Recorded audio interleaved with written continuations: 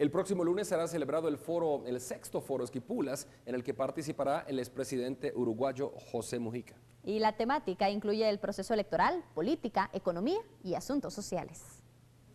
30 años de democracia celebra este 2015 el Foro Esquipulas, a realizarse en nuestro país los días 17 y 18 de agosto, evento que también abordará temas en torno al desarrollo de Guatemala en distintos ámbitos. Según organizadores del evento, lo que se pretende es continuar aportando estrategias viables para la transformación y el progreso de la nación, tomando como base acontecimientos históricos con el fin de buscar soluciones, respetando los procesos legales. Primero, oxigenando el debate político.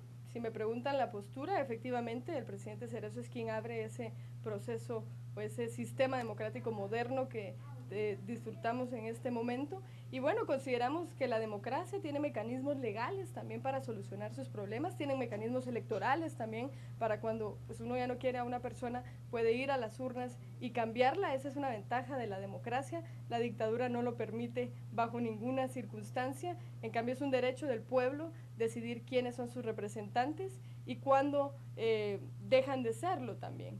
La actividad será dividida en dos etapas. La primera de ellas se priorizarán temas relevantes en torno a planes de gobierno de los candidatos a la presidencia de la República. Otro de los foros que se realizará es el que pretende abordar el tema de la juventud en distintos aspectos, pero principalmente en lo que a las oportunidades de empleo se refiere para dicho sector de la población. Telediario Información Actual.